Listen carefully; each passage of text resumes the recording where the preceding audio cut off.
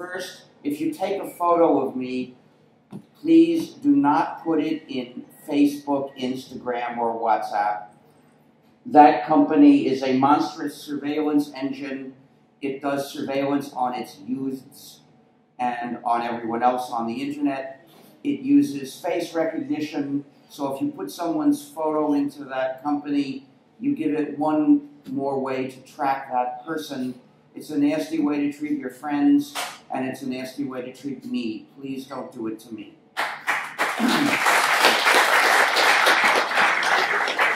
I, I, it's, it's, I'm taking care of it. But I have a glass of water that I put on top of the stack of plates. Oh, there it is. In fact, if someone could bring me some hot water, that would be nice. and also, please don't take a photo of me using a mobile device that has geolocation on. Uh, I don't want you giving data about where I am, or you shouldn't do that about anyone, actually. Second, if you want to make a recording of this talk and distribute copies, please distribute them only in the formats favorable to free software. Those are the OGG formats and the WebM format. Please don't distribute them in MP anything because those are patented. Please don't distribute them in Flash. That requires non-free software to play. It's, it's actually malware. I urge you not to have Flash player in your computer. and please don't distribute them in Windows Media Player, Real Player, or QuickTime. Also, please make sure that the normal use of the distribution site does not involve running any non-free software. This is the problem with YouTube. It distributes WebM format, which is good, but you can't even see it unless you run the non-free JavaScript code that it sends to the browser.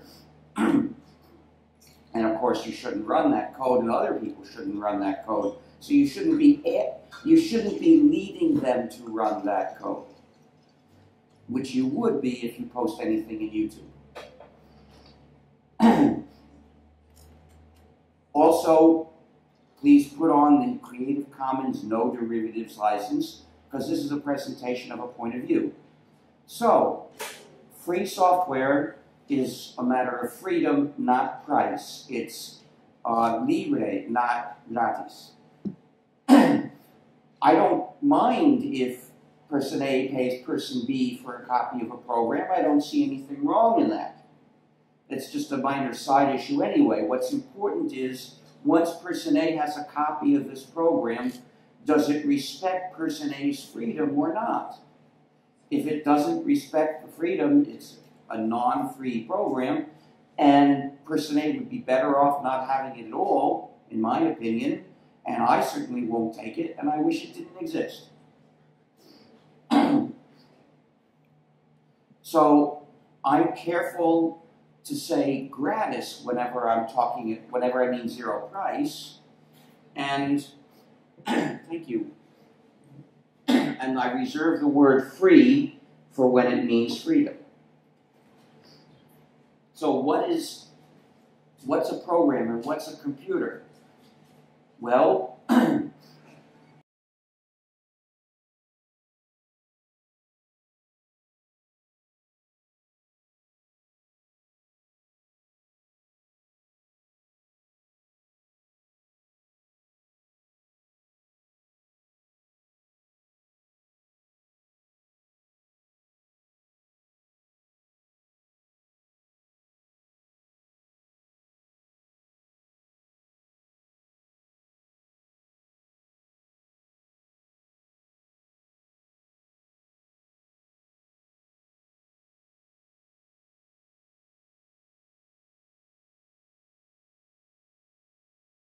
someone else primarily and only obeys you when the other says it can. With any program, there are two possibilities. Either the users control the program or the program controls the users. It's always one or the other because there's no other way for it to be. when the users control the program, we call that free software. Why is this? What is freedom? Freedom is having control of your own life, control of the activities that you do in your life. When you use a program to do the activity, that requires that you have control over that program. So, the program respects the user's freedom when the user has control of the program. In order for the users to have the control of, have control of the program, they need the four essential freedoms. So those four freedoms are the concrete definition or criterion for free software. Freedom zero is the freedom to run the program as you wish for any purpose. Freedom one is the freedom to study the program's functioning and change it to do computing the way you wish. This requires having the source code. Here's some source code. As you can see, it looks sort of like text combined with math. And if you've learned programming, you can understand it, you can see what it does, and you can change it to do something else. To run this program, in many cases, we convert it to an executable. The executable is totally opaque. Programmers, even, even programmers can't understand what it does. If it's a trivial program, you can figure it out. But if it's non-trivial, figuring out what it does from the executable is tremendously hard. People only do that when it's absolutely necessary, which sometimes it is. So if we want the users in practical terms to have control of the program, they've got to get the source code. It's not enough to say, here's an, an executable, figure it out if you can. Ah. So, free software requires that users get the source code. These two freedoms give each user individually, separately, control of the program. Here we see four users. One of them is changing the program, and the other three are not. They're using it as they got it. Separate control means I can change my copies, and you can change your copies. But that's not enough, because most users are not programmers. They haven't learned how to understand source code. So if all they've got is separate control, they can't change it, not practically speaking. So we need collective control as well, which is the freedom to work with others in a group so as together to exercise control over that program and what it does. Here we see a group of three users working together to make the program do what they want. Two of them are actually changing it. Evidently, they know how to program. The third one is not doing so. That person perhaps doesn't know how to program, but participates in the discussions in the group where they decide what changes to make. This is how non-programmers participate in control over the software. So people work together in this way when they want to. They don't have to. Here we see two other users that are not participating in that group. Maybe they don't want to. Maybe they're happy with the program the way they got it. Maybe they don't get along with those three or those three don't get along with them. Who knows? The point is they're all free to cooperate with anyone else that wants to cooperate with them. Collective control requires two more essential freedoms. Freedom two is the freedom to make exact copies and give or sell them to others when you wish. And freedom three is the freedom to make copies of your modified versions and give or sell them to others when you wish. These two freedoms make it possible for the people in the work to pass their modified versions back and forth, and then pass along those versions they got from others in the group to further members in the group. It also permits them to offer their versions to other users even to publish them, offering them to the general public. A part of these freedoms has a special moral importance, and that's when the distribution is non commercial, because that's when it's sharing. And sharing is good, sharing is laudable. And this is why we must reject the propaganda terminology of the proprietary developers that want to demonize sharing. Terms like pirate. When they call people who share pirates, what they're really saying is that helping other people is the moral equivalent of attacking ships. Morally speaking, that's as false as it could be, because attacking ships is very bad, but sharing is good. So let's refuse to call them by the same word. Let's reject, on principle, calling sharing, quote, piracy, unquote. When people ask me what I think of piracy, I say attacking ships is very bad, let's send the Navy. when people ask me what I think of movie piracy, I say I like the first Pirates of the Caribbean.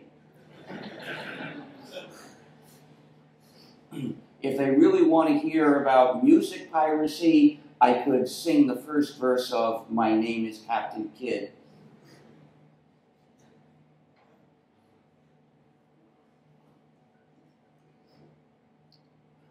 any system designed to stop people from sharing, if it is a direct attack on community, it's antisocial, it's vicious.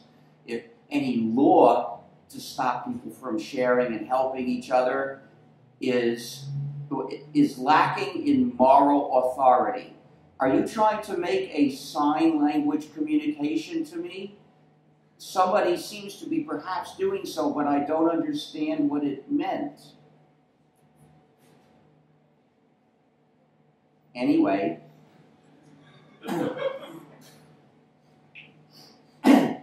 if the program comes with all four essential freedoms, it's free software and the users control the program.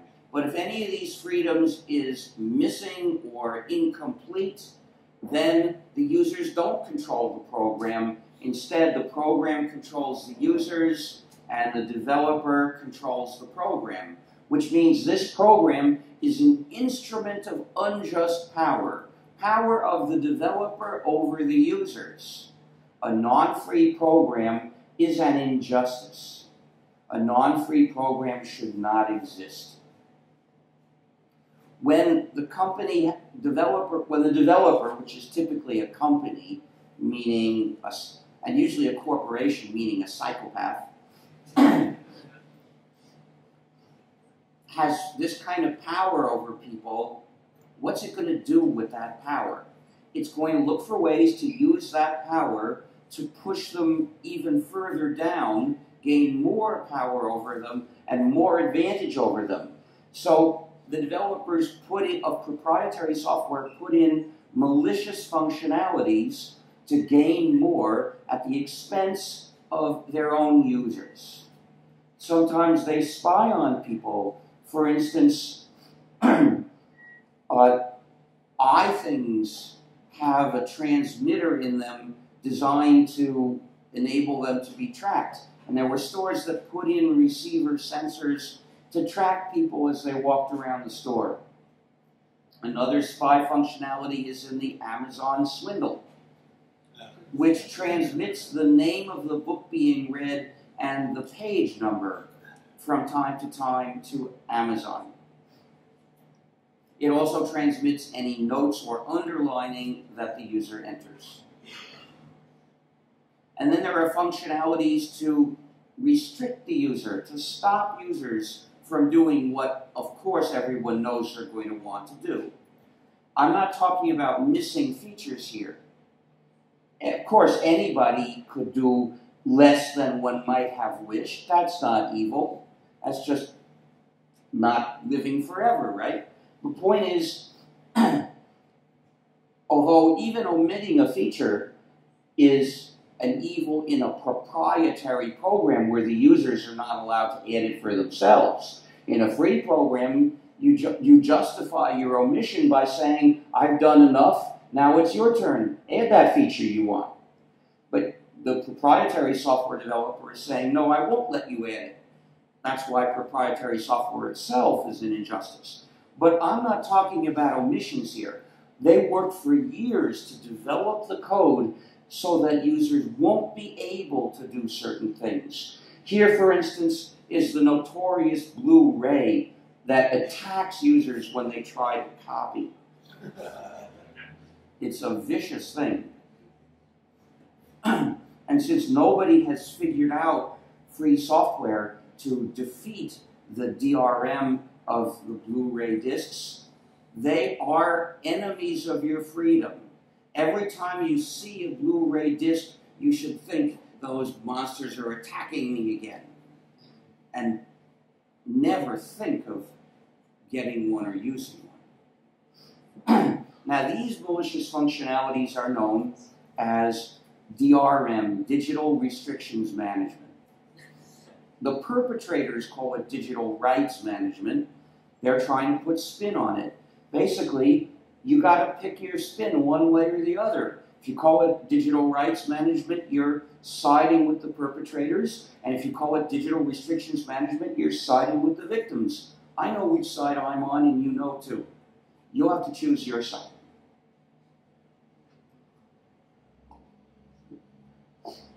And you can find DRM in many digital products.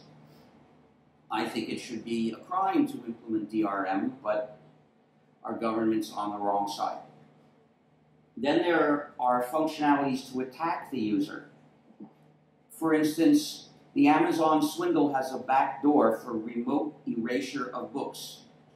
This was discovered in 2009 when Amazon remotely erased thousands of copies of a particular book in an Orwellian act.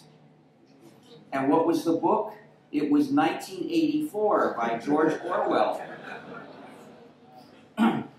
there was a lot of criticism, so Amazon promised it would never do this again unless ordered to by the state. Which, if you've read 1984, is not very comforting. but it doesn't really matter because the promise was not serious. Amazon didn't intend to keep this promise. It was just to cause the criticism to lose momentum. Amazon has gone back to remotely erasing books whenever it thinks it can.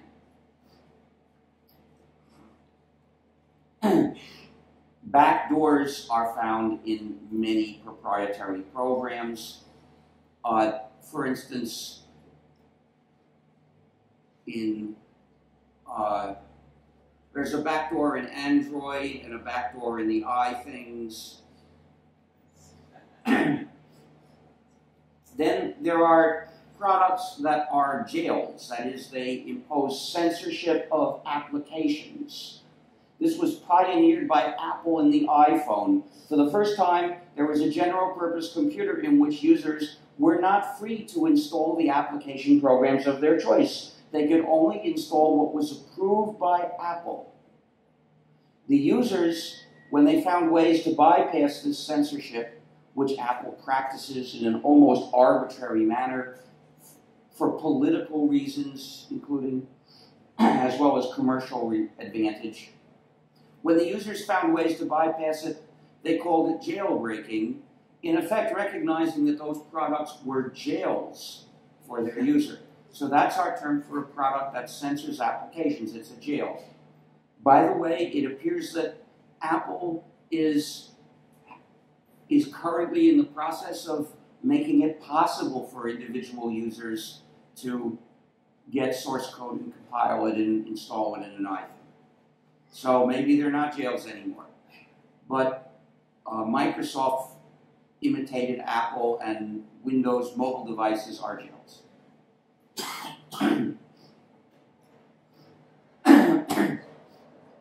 Another form of sabotage was observed in the PlayStation 3. Initially, it was sold with two modes of operation. You could play games with Sony's gaming network, or you could install another operating system, such as the GNU plus Linux operating system. that someone figured out a way to break some DRM using GNU plus Linux, so Sony decided to take away that feature. Sony released a firmware downgrade which removed the functionality of running another operating system and said, okay, user, now you've got to choose. Either install the downgrade and lose the ability to run other systems, or don't install the downgrade and lose the ability to play on the gaming network because they had changed the protocol and the old firmware couldn't do it anymore. So each user was forced to choose to lose one functionality or the other. Of course, there's some people who would say that's okay because the user's got a choice. Like uh, your money or your life. and then, for further sabotage, there are universal backdoors. That means through the back door they can remotely change the code. Windows has had a universal backdoor since Windows XP, which means that any malicious functionality that is not in Windows today could be remotely installed tomorrow. Microsoft did not admit that Windows XP had a universal backdoor. But people figured it out. However, you can measure the steady fall of ethical standards by the fact that Microsoft openly states that Windows 10 has a universal backdoor.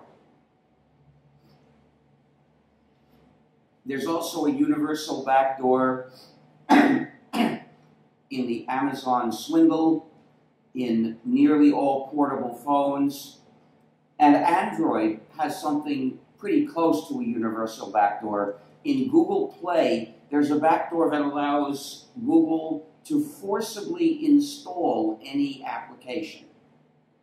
Now, I'm not sure whether that's 100% equivalent to a universal backdoor or not. but it's clearly no good. And then there's another kind of sabotage. Microsoft shows the NSA security bugs in Windows before it fixes them thus giving the NSA a chance to attack people's computers. The news article I read describing this uh, was entitled, Can Anyone Ever Trust Microsoft Again? Clearly not, because it's making proprietary software.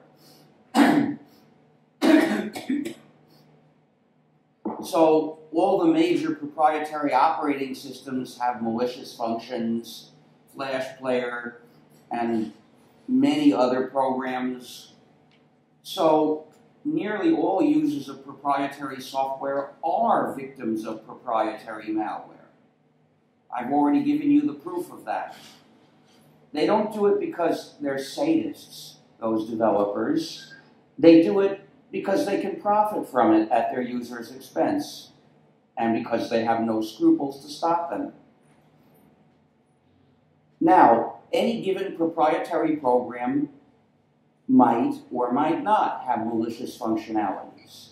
But what's but from our point of view, since we have no way of magically determining whether there are malicious functionalities in a particular program, there are two possibilities. Either we know about malicious functionalities in that program, or we don't know of any. If we don't know of any, there might be some or there might not. And there's no way to make sure. They won't let us study the source code, with rare exceptions.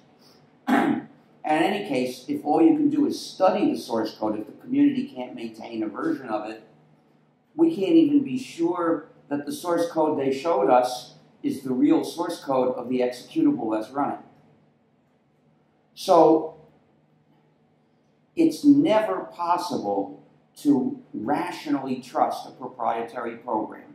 The only way to trust it is with blind faith. In other words, proprietary software is software for suckers.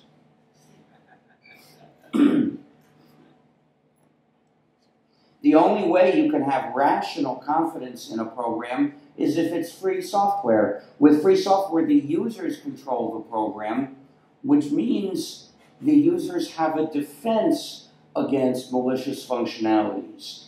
They can see them in the source code and they can fix them. That is, remove the maliciousness and make a version which isn't malicious. now, this is not a perfect defense. There are a few instances of free software with malicious functionalities. For instance, Ubuntu has a desktop search facility which snoops on the user and sends data to Canonical. And people have used our defense. People have made modified versions which don't snoop. But Canonical is still harming the reputation, the honor of our community. We should pressure Canonical to get rid of that snooping and do so as soon as possible. Please do not recommend Ubuntu. In addition, it's not entirely free software. But that's, that's not egregious. The snooping is egregious. and the ethical standards of proprietary developers are so low that they have no shame about this. They used to feel some shame, as you can see from the fact that Microsoft didn't admit the spying functionalities or the universal backdoor in Windows XP. But in Windows 10, Microsoft proudly states that it can look at any file on the machine, that it has a universal backdoor. there are conferences where proprietary developers present their new clever ways of mistreating their users. so, for your freedom's sake, you should escape from proprietary software and come live in the free world that we have built with the GNU operating system together with the Linux kernel. These gave us a way to be free. I started developing the GNU operating system in January 1984. Oh boy, is there any way to block the sun up there? Or turn it off? Is there a sundial here? Well, the point is, I'm, I, did, I didn't stand there because I don't want to block your view of the projection. But you're not right by the, right by the table. You're not blocking. Oh, I see. Yeah, here, now I just have to reach the space key, but I think I can do it. Let's see. Uh, no, I'm just trying to see what I can do. Oh, it's a little closer now. I can reach it. Good. So, I developed the GNU system with the help of thousands of others, of course, to make it possible to use a computer in freedom. In 1983, when I planned and announced this project, it was impossible to do that. All the operating systems for modern computers were proprietary. Using one took away your freedom. Well, I knew a way I could change that by writing another operating system. I could make a way to use a computer in freedom. Of course, I didn't plan on doing it all by myself. I decided to recruit others to help. and we developed many components. In some cases, I persuaded people, for instance, the developers of BSD, to release some of their code as free software. And then there were other projects like the X Window system, which released free software for other motives of their own. They weren't particularly interested in making a free operating system, but their code was a useful contribution to one. In 1992, we had almost all of the GNU system. The main thing missing was the kernel. The kernel is the component of an operating system that allocates the computer's resources to the other programs you run. We started developing a kernel in 1990. but the design I chose was perhaps too advanced and elegant with a microkernel and multiple servers on top of that. And it took six years for the developer to get a test version. Fortunately, we didn't have to wait for that because in 1992, Mr. Torvalds, who had developed a proprietary kernel called Linux in 1991, liberated it. So in 91, Linux was proprietary because its license was too restrictive. It didn't permit commercial redistribution, if I remember right. and that's part of what's needed for, so for free software. but in 92, he switched to a free license, and when Linux was free, people could fit it into the last gap in the GNU system, making a complete system, which was basically GNU together with Linux. In other words, it's the GNU plus Linux operating system. Please don't call the whole system Linux because that means you're giving the credit for our work to somebody else and none of it to us. Please give us equal mention. We did start the whole thing. We developed the biggest contribution to the code. So I think equal mention is a fair thing for us to ask. If you say GNU plus Linux or GNU slash Linux, then you're giving us equal mention. and you're also giving equal mention to Torvalds, whose component of the system is important.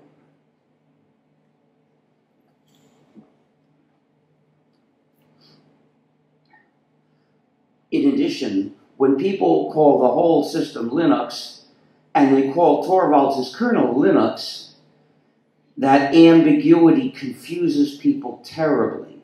Now, if you're a wizard, in each case you can figure out what is really at the issue, and you can tell what they should have said, what they're talking about. But anyone else is totally lost. But when you start calling the whole system GNU slash Linux, and you call Torvalds' kernel Linux, people can tell which one you're talking about. You don't confuse them. GNU slash Linux is basically a free operating system, but in practice, people who make distributions add a lot of other things, and sometimes some of them are non-free programs, and ethically that ruins it. Because in order for a collection of programs to respect your freedom, it's necessary that each piece in the collection respect your freedom separately.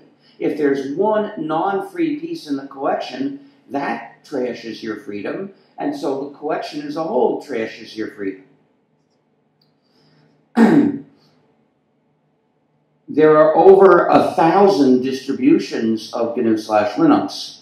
Nearly all of them contain non-free software, meaning as a whole they are not free. there are a few that are entirely free software, those are the ones that respect your freedom. We have a list of them in gnu.org slash distros. We also there describe for the well-known non-free distros, roughly in very general terms, how they are non-free. The non-free distros have a considerable negative effect on our community. Partly, well, directly, of course, because when users install those, they almost always get non-free software, and then they they might have thought that they had reached freedom, but they didn't really. However, there's a deeper general harmful effect, which is that these distros, in the accompanying publicity and text generally don't talk about freedom as something important. For instance, look at Ubuntu. The developers of Ubuntu could say, you deserve freedom in your computing and you won't get it from us. But of course, they don't say that. They don't talk about freedom at all. They don't say free software. Instead, they say, We, tr- we try to give you the best possible user experience, meaning that they are trying to teach people to value convenience and not freedom. How do we teach values? By basing our words and our actions on those values. The words and the actions of Ubuntu are not based on freedom as a value. They ignore it completely, and thus they teach people not to value it, which is the exact opposite of what the free software movement needs. The most important thing for us to do to win freedom and spread freedom is to teach more people to appreciate and demand freedom. So the non-free distros are an obstacle to doing that. Now, once your system that's installed and the applications are all free software, you still have things to worry about.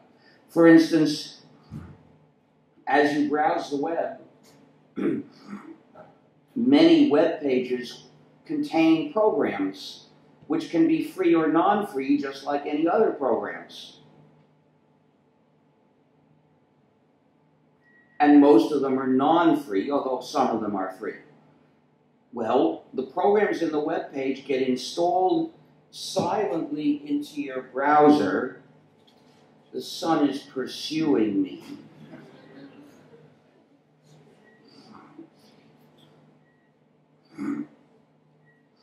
And they so these non-free programs get silently installed into your browser and they run in your computer, which is no good. So to prevent this, we developed the program LibreJS, which analyzes all the JavaScript programs in the web pages you visit to see if they're either trivial or free. And in those cases, it permits them to run.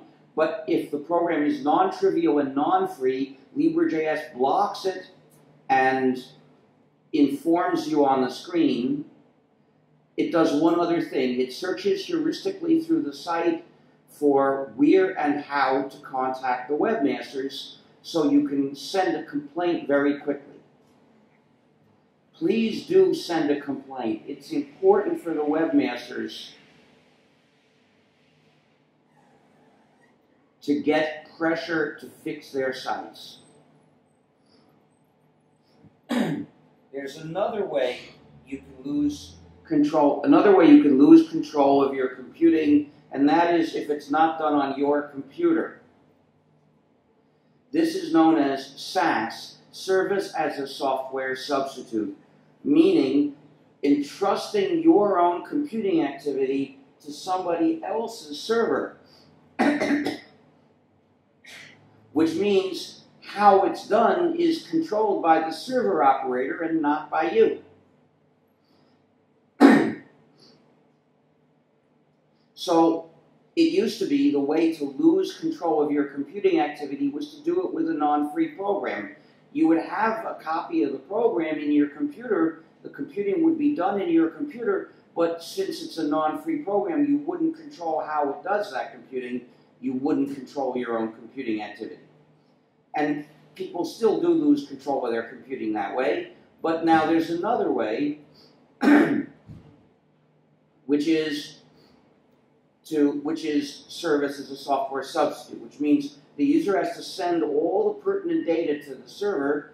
Then the computing is done in the server by programs chosen by the server operator that the user can't see or touch, and then it sends the result back to the user or takes action directly for the user. And either way, the user doesn't control what it's doing. So they both lead to the same result that the user doesn't control her computing, and that's not right. so SaaS is inherently equivalent to running a non-free program, but it's even worse. I've told you about the many about how many non-free programs snoop on the user, like Windows and sometimes Mac OS and iThings and Flash Player and uh, and portable phones and the Amazon swindle. Well, with SaaS, service as a software substitute, the user has to send all the pertinent data to a server, which is equivalent. You know, it's not the program sending your data to a server, it's you send the data to a server, but either way, the server has your data. But it's even worse. I explained how many proprietary programs have a universal backdoor or something close to one, which enables somebody remotely to change how the user's computing gets done without asking permission to change it. Well, with SaaS, the server owner operator can at any time install different software and thus change how computing gets done in that server. And of course, the server operator should be able to do this as the owner of that computer. But the problem is when that computer is used for SaaS, that is doing other people's computing, changing that software changes how those other people's computing gets done without asking them for permission to change it. So SaaS is inherently equivalent to a proprietary program which snoops on the user and has a universal backdoor. Trying to see if I can escape over here now. You want to go over here and I can press the button to change the channel? I can press the button here. so, for your freedom's sake, avoid SaaS. I should say a little bit about free software licensing. Everything that's written in the US and most countries is automatically copyrighted. And copyright law, by default, denies users the four freedoms. So a program that's just written down and handed out to people, by default, is non-free. The only way to make it free is with a declaration from the copyright holders giving users the four freedoms. We call that declaration a free software license. Its purpose is to give users the freedoms they ought to have. It's not the same kind of thing as a proprietary software license, which is actually a contract intended to take away even more of the user's freedom. The free software license is what makes the program free. Without that, it's not free. It's absolutely essential. One of the uh, harmful effects of GitHub is that it leads people to uh, publish programs with no license. They're non-free software. It's a very bad thing that GitHub is leading them to do. Please, if you know anyone who does this, please explain that this is not good. They're saying, here's, a, here's some non-free source code. You can look at it, but you shouldn't really use it. And they probably don't know that that's what they're doing. and this is part of the reason that we released uh, a week or so ago ethical criteria for software repositories.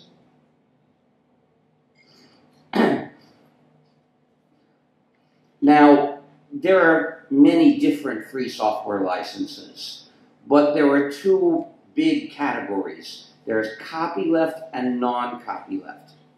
Copyleft is a condition that we put on freedoms two and three.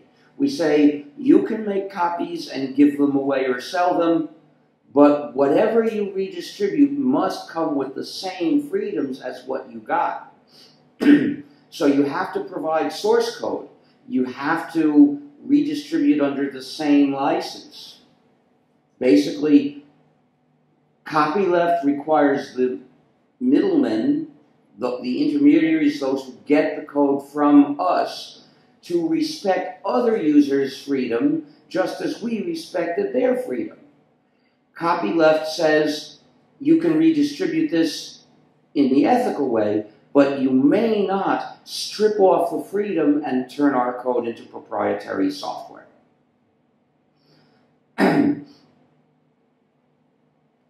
had the idea for copyleft in 1985 when I first had a piece of GNU software that was interesting enough to be worth releasing. That was GNU Emacs.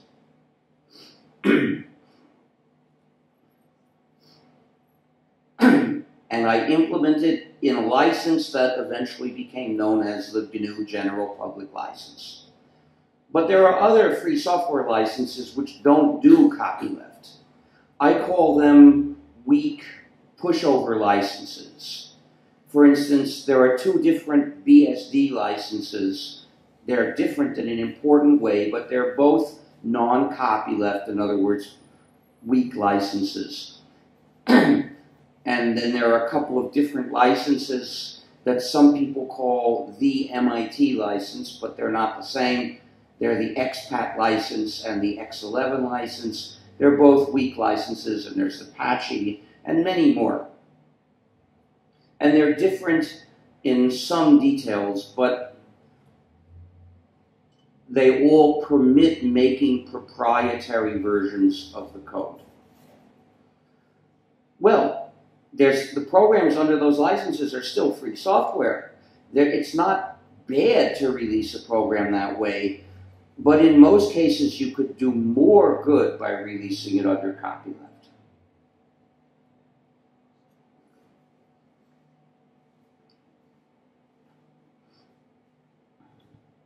So, we all want freedom, but there are obstacles.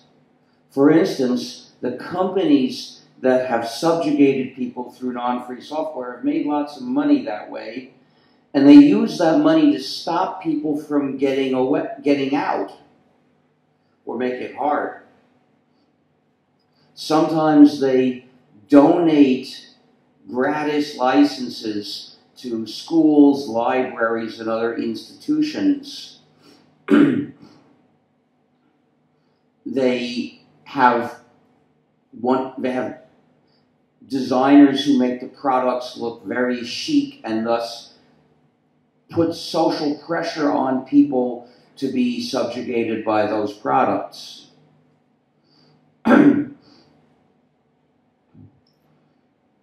So when those companies show up, we should picket them. For instance, if they show up at your school to recruit people, to sell things, picket them. It's a great opportunity to teach people the ugly side of what they are doing.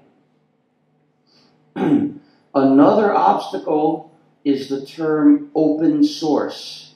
You'll notice I don't use that term I don't use the, ter- the word, quote, open, unquote. And the reason is I want to do everything I can to focus attention on freedom.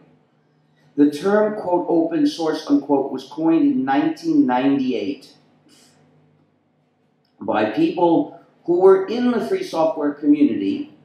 They really participated using, distributing, or developing free software, but they didn't agree with the ethical ideas of the free software movement. they coined this term so that they could talk about the same software without raising it as an ethical issue. The term, quote, open source, unquote, had never been used in our field, so they had the opportunity to uh, to choose which ideas to associate it with and which ideas to omit. They, from their new discourse, they omitted the entire ethical level of free software. They presented it as purely a practical convenience issue, resting on no values deeper than convenience.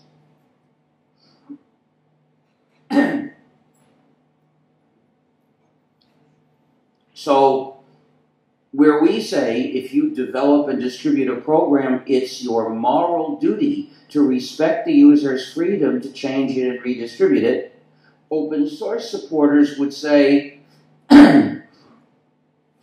you develop and distribute a program, it might be in your practical interest to develop to let the users change and modif- modify it and redistribute it because then they'll improve the code quality. So for us, the values are freedom and community. For them, code quality. You see that at the deepest level, there's a tremendous gaping gulf between free software and open source. But at the practical level, they're almost equivalent. Not 100% though, because they have a different definition and interpreted it differently, so they didn't end up drawing the line at exactly the same point we did. There are quite a few licenses that they accepted which we rejected because they restricted users in unacceptable ways. Fortunately, they are rarely used. I only know of one program which is under such a license. Chances are you've never seen one, at least not in source code. Because there's one other practical difference between free software and open source. there are devices which come with an executable made from free source code.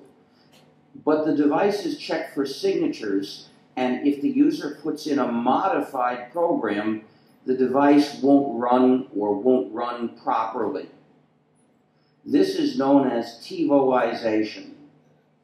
And it's done in some Android devices with Linux, which is the kernel used in Android as well as in GNU slash Linux. It's the only thing GNU slash Linux and Android have in common in software is Linux. Well, the source code of Linux in those versions is available to the users under version 2 of the GNU General Public License. the users can change the source code and compile it and put that modified Linux into a modified Android in those devices, and then it won't work. Because those devices won't run the user's modified executable. Which means that practically speaking, those executables are non-free software. Although the source code is free, the executable is not. Well, open source doesn't look at this question. It only asks about the source code.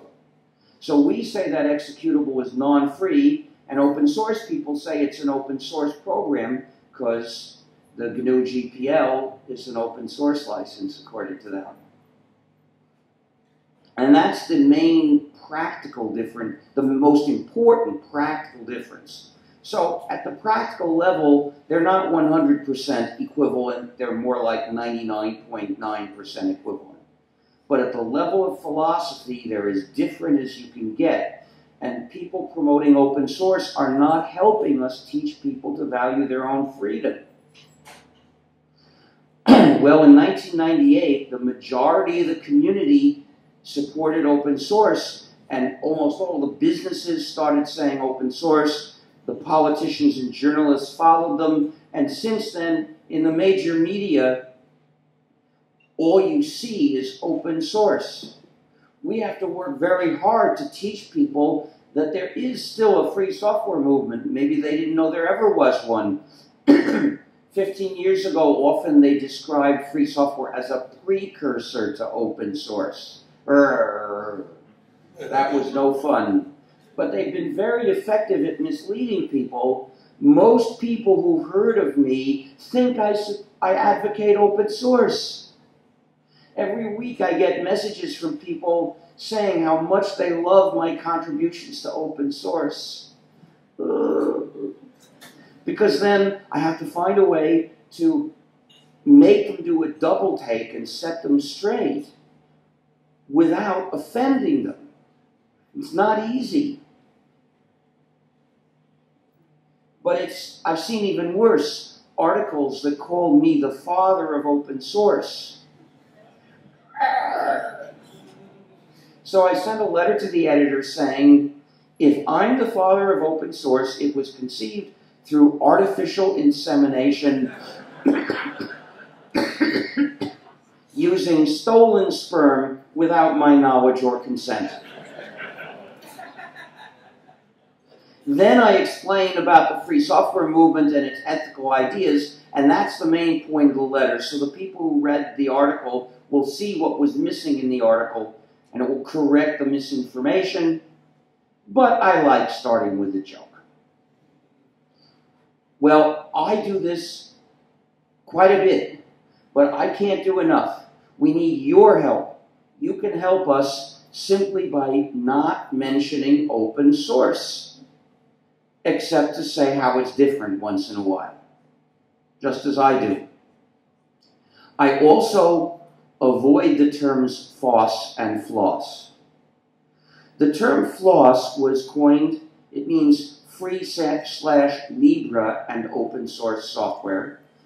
It was coined by somebody who wanted to do a study of the community's development practices, who didn't want to take sides between these two philosophies. And as a way of being neutral, it's okay. FOSS, which stands for Free and Open Source Software, is not as good. It's not entirely neutral because open source is sitting there in the middle, easy to see, free software is split apart. It doesn't have anything to explain that free means freedom, so people are likely to think it means gratis. So really, that's not a good term to use, even if you want to be neutral. If you want to be neutral, use floss. Sure your dentist will agree. But if you support the ethical ideas of the free software movement, then don't say things that are neutral. Say things that support our movement. Say free Libre software. And leave it to the people who advocate open source to say that. Why should we help advocate their views that reject our ethical concerns?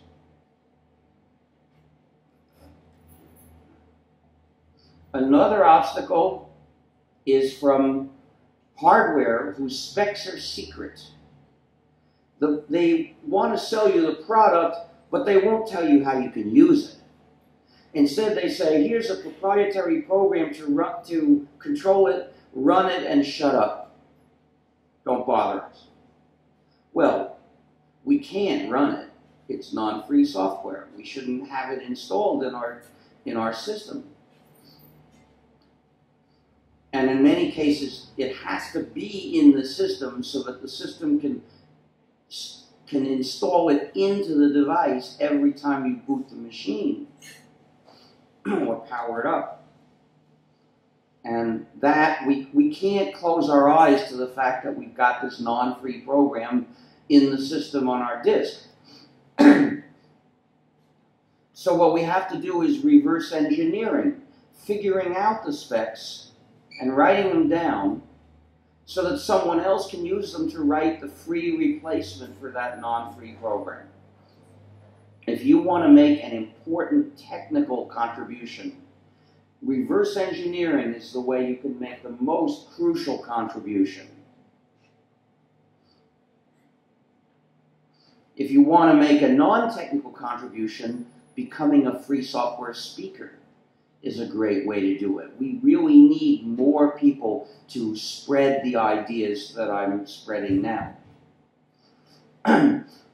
Schools should teach free software, exclusively free software, and they should also teach their students why.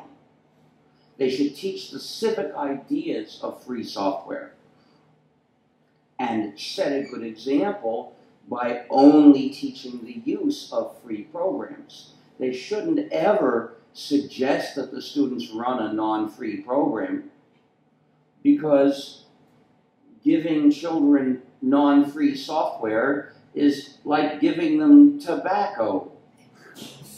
It's a way to get them hooked, which is why some proprietary developers will offer gratis or cheap copies of their non-free software to schools or children just as tobacco companies used to offer gratis cigarettes to children.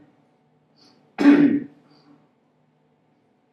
addition, schools should teach children to share knowledge. So every class should have this rule. Students, if you bring software to class, you may not keep it for yourself. you must share it with the rest of the class, including the source code in case someone wants to learn about the software, because this class is a place where we share our knowledge. Therefore, you may not bring proprietary software to this class unless it's for reverse engineering. The school must follow its own rule to set a good example. It must bring only free software to class with source code and share copies with everyone in the class that wants them, except for reverse engineering exercises. And the school should teach, should have reverse engineering exercises for some students. It should teach, uh, when you get to college level at least, the school should teach reverse engineering because it's an important skill and it's a lucrative professional career. In addition, education is at stake. Every program embodies knowledge. If it's a proprietary program, it withholds that knowledge from the students, so it's the enemy of the spirit of education. But a free program makes its knowledge available to the students. It supports education. The school must demonstrate its loyalty to the spirit of education by saying proprietary software is not allowed on campus except for reverse engineering. Now, sad to say, our schools are going in the opposite direction. I was talking with a student today whose school requires students to use various Google services, which all require, well, except for Gmail and the search engine, they all require running non-free JavaScript code. So people should refuse to run them. In addition, this violates the student's privacy. Even making an account in the student's name it, it, with any company whatsoever is violating the student's privacy. Parents must fight against this. And those students who wish to resist proprietary software in their schools, they will learn something much more important than what the schools are planning to teach them. They will learn how to be champions of freedom and democracy the kind of people that we need.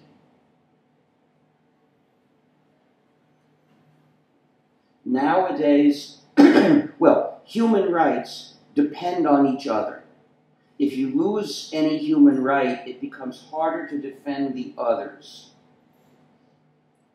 Nowadays, since we use software to do many important things, free software, in other words, control over your computing, has become one of the essential human rights that we need to defend the others.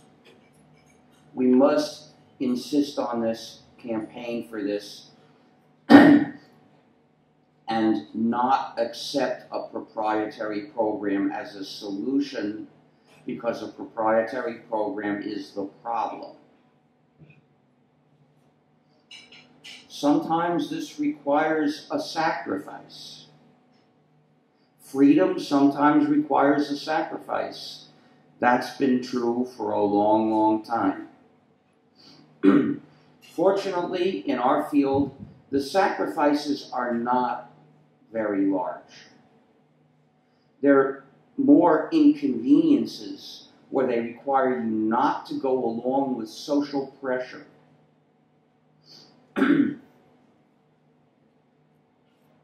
And there are people you'll you'll see these people when you suggest that they switch to a free program, they'll say, it doesn't have this feature I like. When you can provide me with a free program that has absolutely all the features that I want, is just as convenient as this non-free program I use now, and basically won't require any sacrifice at all, then I'll switch to it. Could I have some more hot water? So, what those people are saying, in effect, is the value they give to freedom is zero.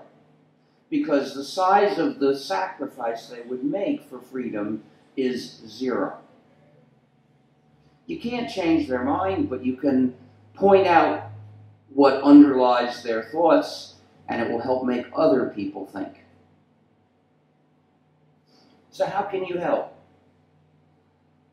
You can write free software if you're skilled in programming. you can become a free software activist and help organize activities to spread the ideas of the free software movement and direct them at institutions. You can persuade schools and governments to move to free software. If you're an expert at using GNU slash Linux, you can help other users, perhaps in a GNU slash Linux user group. And just saying free software is, especially when you're in a discussion with others, let's say open source, is an important way of helping us. There are other ways too. Look at gnu.org slash help for more suggestions. See what fits your skills. You can join the Free Software Foundation. In fact, you can do it at the Free Software Foundation's table at the main center of this event, or you can do it through fsf.org. we need your support. We would like to hire more staff, but to do that, we need more members. There's more you can find in GNU.org. GNU.org slash distros describes the free distros and says something about the the non-free ones. GNU.org slash licenses gives information about licenses, which ones are free, which ones are non-free, and of the free licenses, what their advantages and disadvantages are. There's also the page license recommendations.html, which suggests which license to use in various conditions for various kinds of works. There's also GNU.org slash philosophy, which has dozens of articles addressing various political and philosophical questions related to free software. And there's also GNU.org slash GNU, which describes the history of the GNU project, which is the development of the GNU operating system. and there's more as well. In fsf.org, you will see some resources you can use for using, distributing, and developing free software. You'll also find political campaigns you can support. You'll find our shop. You'll find a donation page and a membership page.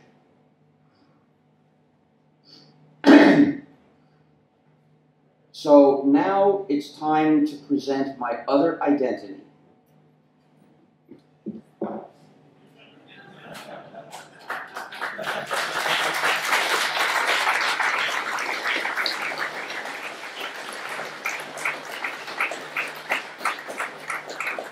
I am Saint IGNUcius of the Church of Emacs I bless your computer, my child. Emacs started out as an extensible text editor I had written, which developed over the years into a way of life for many users, as it was extended so much they could do all their computing without ever leaving Emacs. Then it became a church with the launch of the newsgroup alt.religion.emacs, which you might find amusing to visit. And I believe my editor daughter is here. Are you still here? Hi. Uh, someone asked me if I would be her godfather, and I said, in the Church of Emacs, we don't have gods, we have an editor. So I'm, I'm her editor father. I've only seen her a few times.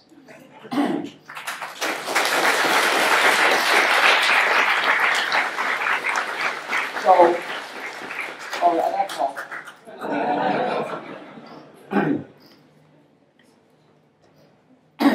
In the Church of Emacs, we have a great schism between several versions of Emacs, and we also have saints, but fortunately no gods. Instead of gods, we adore the one true editor, Emacs.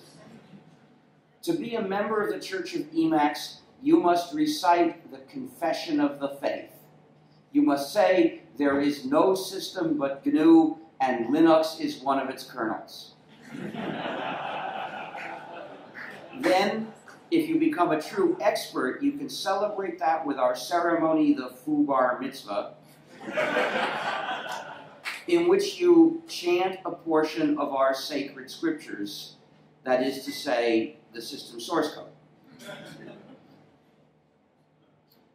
We also have the cult of the Virgin of Emacs, which refers to anyone that has never used Emacs. And according to the Church of Emacs, offering the opportunity to lose Emacs virginity is a blessed act. we also have the Emacs pilgrimage, which consists of invoking all the commands of Emacs in alphabetical order.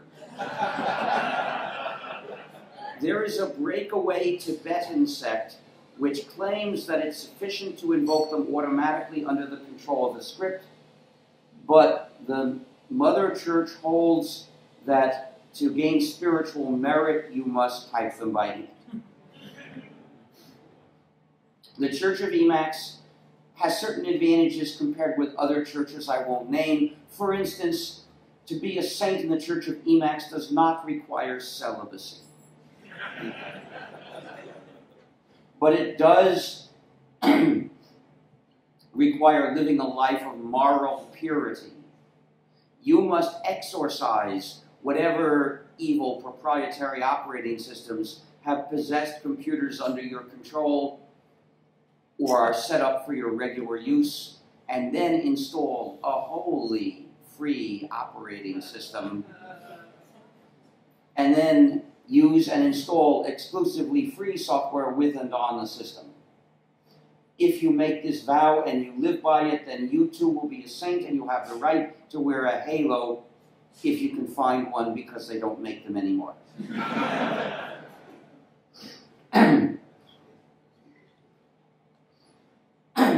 there is a traditional rivalry between Emacs and the other editor VI. So people have occasionally asked whether in the Church of Emacs it is a sin to use VI. It's true that VI, VI, VI is the editor of the beast.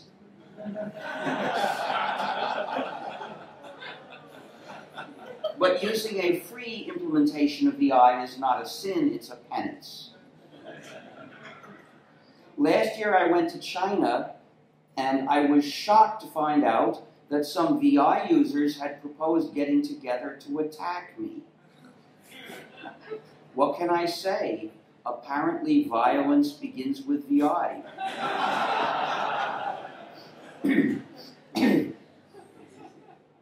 People have occasionally asked me whether my Halo is really an old computer disk.